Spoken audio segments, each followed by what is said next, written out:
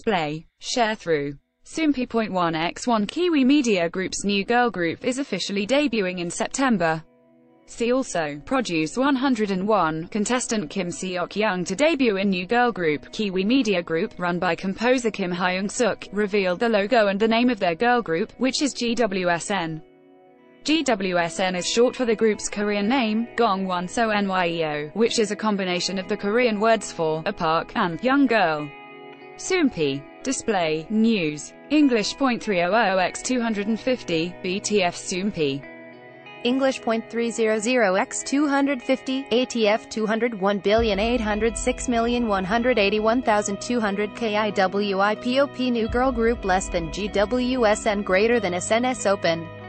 GWSN will reveal its members one by one through the official channels and gear up their promotions before the group's debut in September. GWSN is a seven-member group with members from Korea, China, and Japan.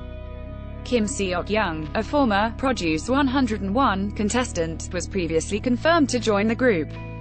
She had shown off her impressive dancing skills and bubbly personality on the show, recording her best ranking of No.